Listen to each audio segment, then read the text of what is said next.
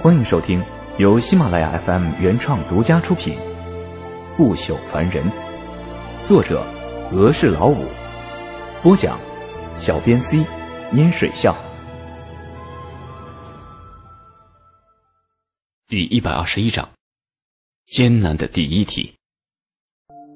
风振秋离开之后，一名中年女子走到了圆坛中间，对四周行礼之后说：“我。”是问天学宫丹塔的明宁，这次五行丹比由我来主持。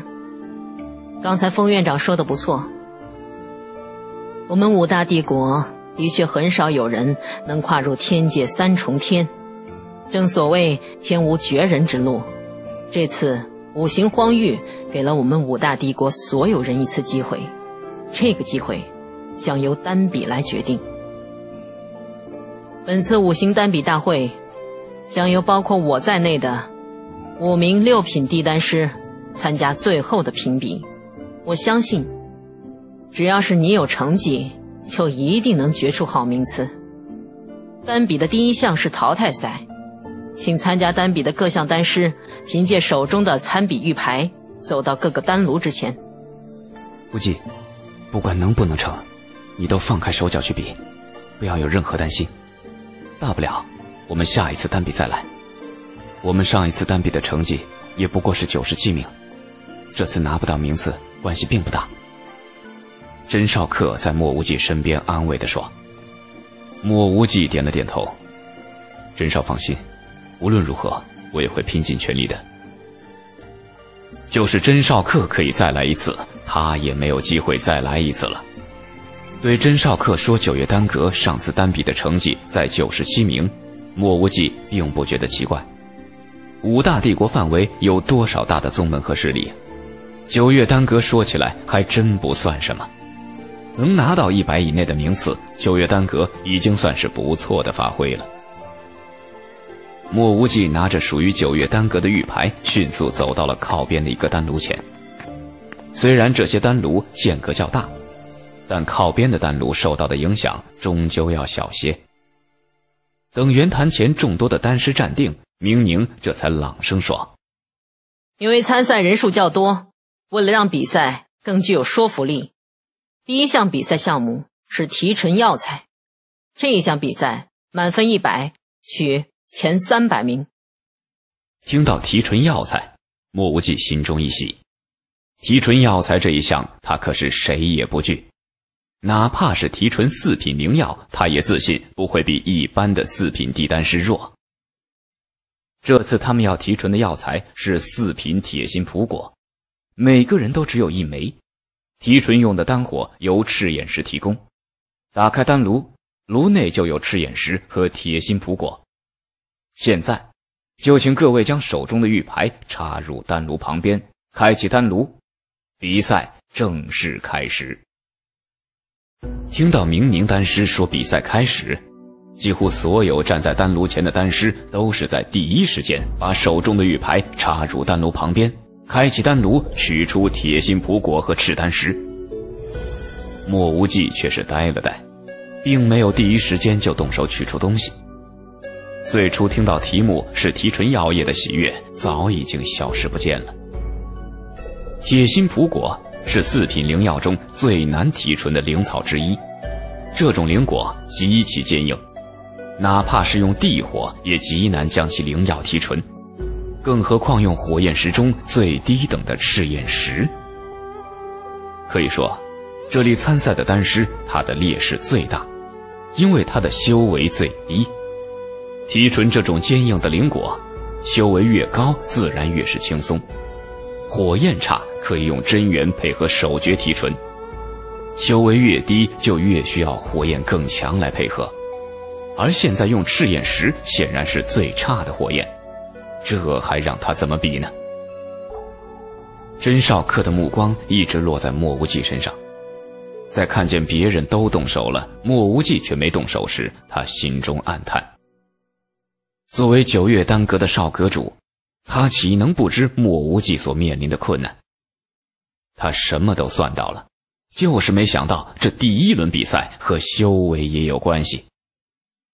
以莫无忌拓脉境的修为，想要用赤焰石炼化铁心蒲果，本身就不是一件简单的事情，更不要说将其中的药液提纯出来，还要在这一千多名丹师中进入前三百名。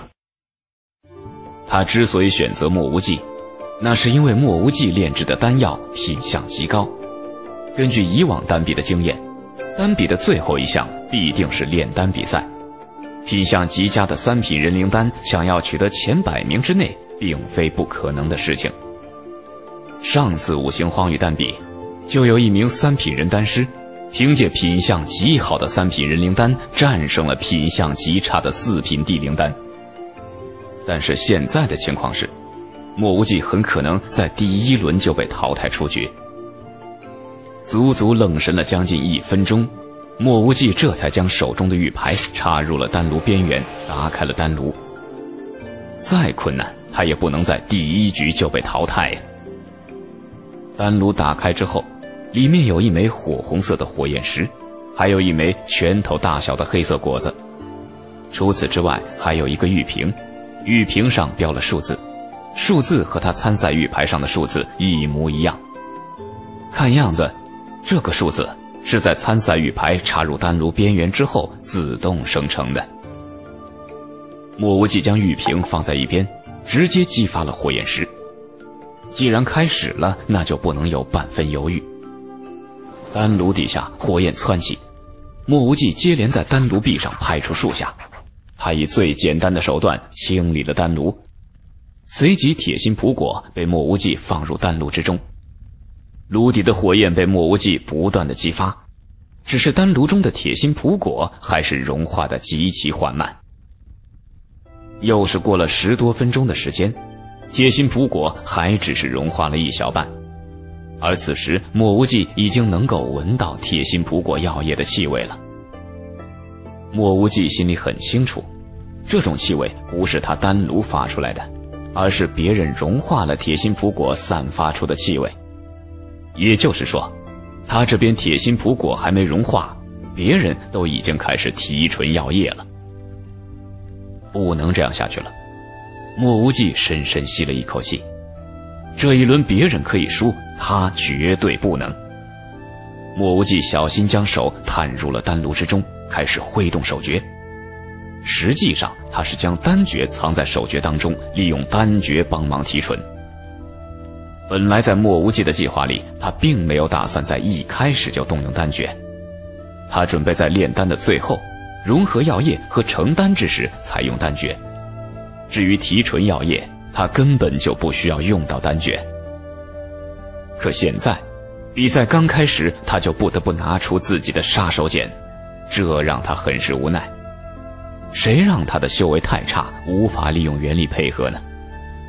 这里上千参加丹比的丹师里，也许只有他一个还在拖麦境。丹诀落在了铁心蒲果上，原本缓慢融化的铁心蒲果加快了速度，但是那速度依旧不快，毕竟火焰只是赤焰石提供的罢了。不行，这样也许可以将铁心蒲果的药液提炼出来，但肯定拿不到名次。莫无忌一想到这儿，更是咬了咬牙，直接用手铲动铁心蒲果。表面上他是在铲动，实际上是让丹诀更直接的在铁心蒲果上产生效果。他没有办法，谁让他的修为差呢？神念力量也无法长时间的催动丹诀。还好这是提纯一种药材，若是提纯几种混合药材，他就只能眼盯着别人胜过他了。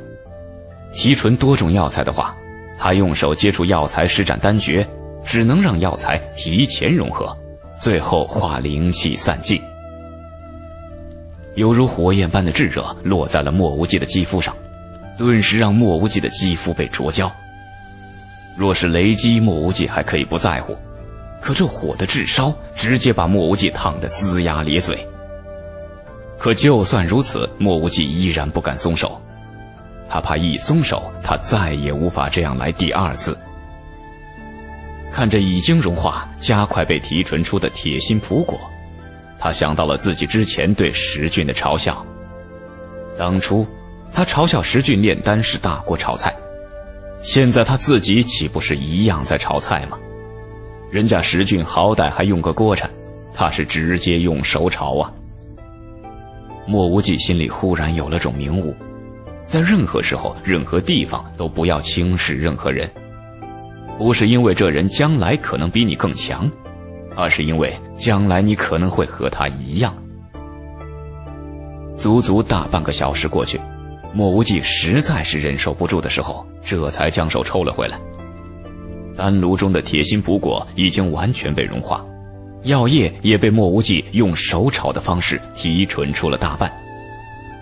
因为神念力量施展过多，莫无忌觉得头有些昏昏沉沉，但他却不敢有半分停顿，也不敢吞下任何一枚丹药，他怕万一规则不允许，那他前面做的一切可全都付诸东流了。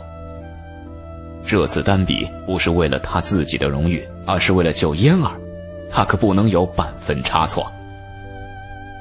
那只炒药的手此刻是火辣辣的疼，但这些全被莫无忌完全无视了。他现在所有的注意力全在丹炉中的铁心蒲果上。经过他的努力，铁心蒲果终于散发出了淡淡的药香，莫无忌更是不敢大意。全神贯注，将精力放在其中。已经到了最后时刻，即将分离残渣了。鼓动全身的元力涌进了丹炉中，配合丹诀，他开始分离残渣。啪嗒，一道药物残渣被莫无忌从丹炉中送了出来，随即丹炉中被提纯出的药液也被莫无忌带起来，送入一边的玉瓶之中。若是平时，莫无忌肯定会再提纯一次，但现在他实在是夹不住了。他甚至能够想到，若是他强行继续提炼的话，也许他前面做的事情将全部作废，这次的药液提纯将化为乌有。当玉瓶的盖子被盖起来之后，莫无忌才长长吁了一口气。当他抬头看向四周的时候，才发现。除了寥寥数十人，他几乎是最后完成的。好在他总算是完成了。